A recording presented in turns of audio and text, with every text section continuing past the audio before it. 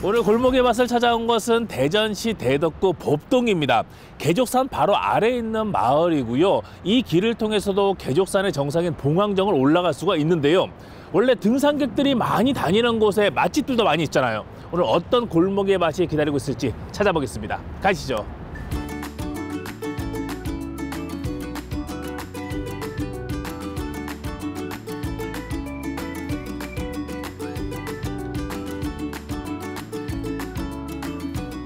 예전에는 봄골로 불렸다고요? 네네네.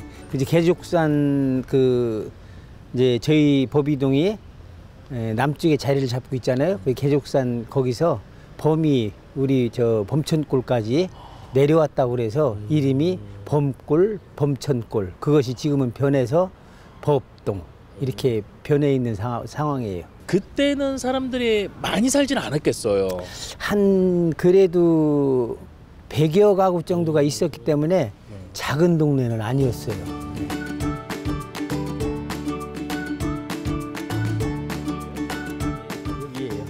아, 아 이거예요? 네네 네. 장승하면 대부분 나무를 생각하는데 얘는 돌이네요.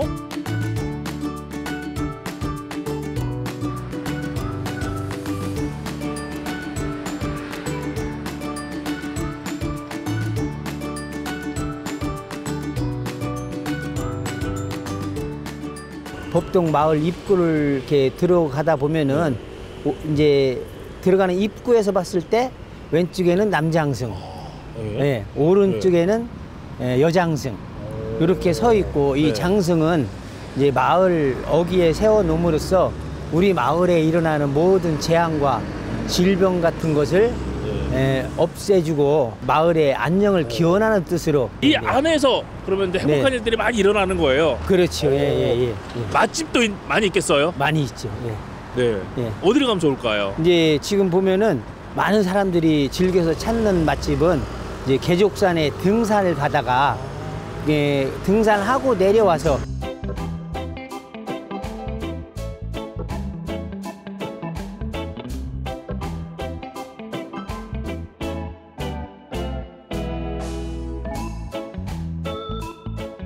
선생님 혹시 여기 뭐 두부 요리집 잘하는 데 있다는 데 아세요? 예? 두부 요리.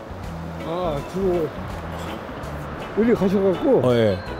여기 가시면 또 이쪽 길로 빠지는 길이 있어요. 그러면 아, 그 집이 그 두부 전골 아. 맛있게 해요. 유명해요? 예, 자- 잘해요. 아, 두부 요리 잘 아. 나와요. 맛있어. 아 드셔보셨어요? 맛있어요? 어, 맛있어. 먹어봤어요. 네, 알겠습니다. 고맙습니다.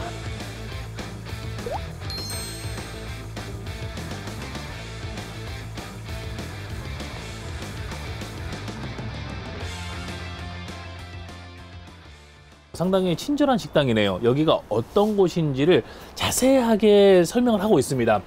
20년 된 2대째 노포이고요. 그리고 또 주차는 어디다 해야 되는지 또 기다릴 때 웨이팅은 어떻게 어느 정도 시간이 소요가 되는지까지 쭉 설명되어 있습니다. 아직 문을 열었을라나요? 아, 안녕하세요. 네, 안녕하세요. 소문 듣고 왔습니다. 아, 예, 감사합니다. 2대째 식당이라고 하는데 그러면 2대 사장님이신가요? 네, 그렇습니다. 아, 반갑습니다. 네, 아, 예, 예, 예. 주변에 등산객들한테 여쭤봤는데 어, 네. 이 식당 모르는 분이 안 계시더라고요. 아, 그냥 뭐 오래 하다 보니까요. 네. 네, 자연스럽게 좀 그렇게 된 것 같습니다. 지금 오픈했나요? 아, 예, 예, 지금 오픈했습니다. 어, 그래 그럼 저도 그 네. 유명하다는 맛을 네. 한번 봐야죠. 아, 예, 예, 예, 예. 자리 마련할 테니까 저쪽 가서 드시면 될 것 같습니다. 고맙습니다. 네, 감사합니다.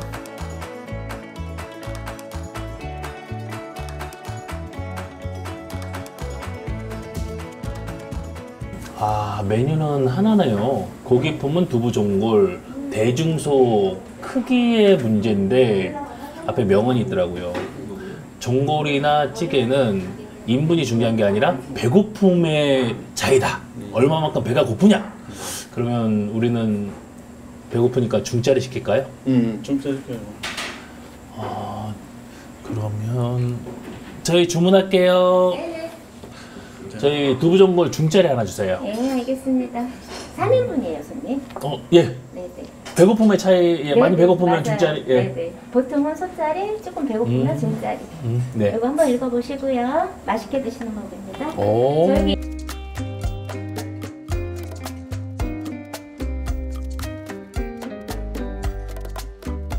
대부분 물어보잖아요. 어떻게 먹어야 돼요? 하는데 이렇게 적혀 있습니다. 요대로 좀 이따가 맛있게 먹어보겠습니다.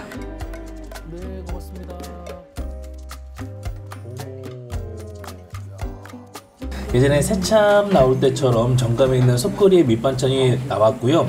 그리고 두부전골인데 어, 우리가 알고 있는 두부전골은 차이가 있습니다. 채소들이야 똑같지만 확실히 두부가 다르네요. 와.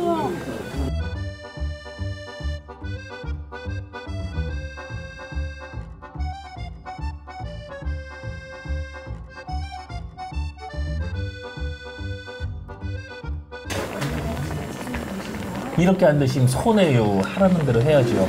채소가 숨이 죽을 때까지 충분히 끓여줘야지 맛있고 고기를 품은 두부는 옆으로 풍덩 자 넣어서 어? 생- 생두부가 아닌데요?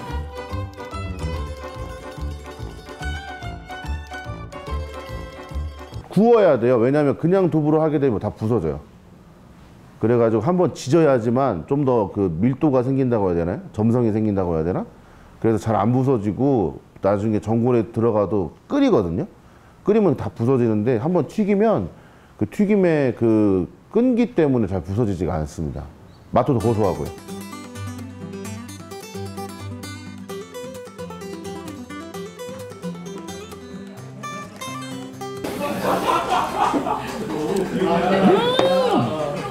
어 국물 맛있는데요? 그런데 고기 맛보다는 해산물 특히 새우 맛이 확 나는데요?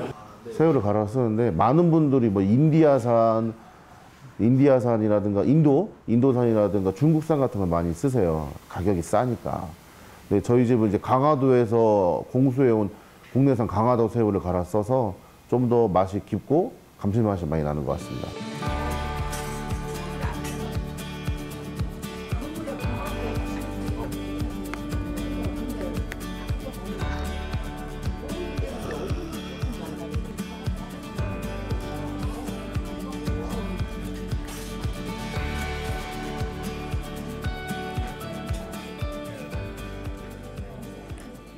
두부를 구웠기 때문에 딱딱하지 않을까 생각할 수 있는데 두부가 상당히 부드럽고요. 그 부드러운 두부 안에 더 부드러운 고기 완자가 숨겨져 있네요. 육즙까지 가득 안고. 이북에 보면 두부밥이라고 해가지고 두부에다 밥 넣어주시는 게 있고 제가 어렸을 때 밀가루를 못 먹었던 기간이 있습니다. 지금은 등치가 좋아서 뭐든 잘 먹지만 그때 어머니가 이렇게 두부에다 밥을 넣어서 많이 해주셨던 적이 있어요. 그리고 도- 요리에 조예가 깊으시니까 딴 데에서도 이런 식으로 두부 요리를 하시는 걸 많이 봤나 봐요. 거기서 착안을 하셔서 두부에다가 이제 만두핏, 뭔가 만, 만두 속을 넣어서 밀가루 대신 만두 피로 이제 두부를 해가지고 그렇게 해서 만들게 되신 겁니다. 저희 어머니가 만드신 음식이에요.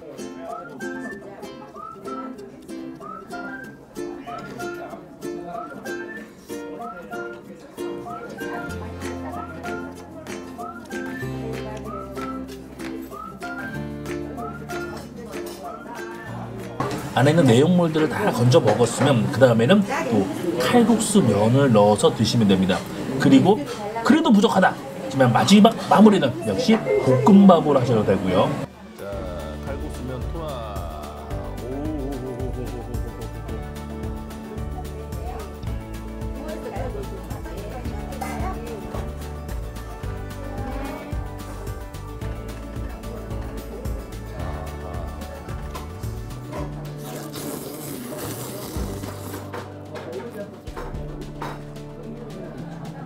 처음에는 두부 전골로 시작을 했는데 이제 칼국수 면을 넣어서 먹으니까 이 맛은 해물 칼국수 느낌이에요. 어, 면을 먹으니까 또 근데 매운 향이 싹 올라오네요. 어, 땀난다.